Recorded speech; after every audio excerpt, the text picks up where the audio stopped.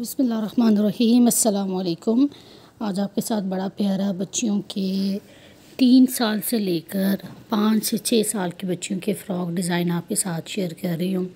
इतने सिंपल और ख़ूबसूरत है कि आप लॉन और कॉटन के कपड़ों पे इन डिज़ाइनिंग को बनाएँ तो बच्चियों के लिए छोटे छोटे सिंपल से फ्रॉक बड़े प्यारे लगते हैं।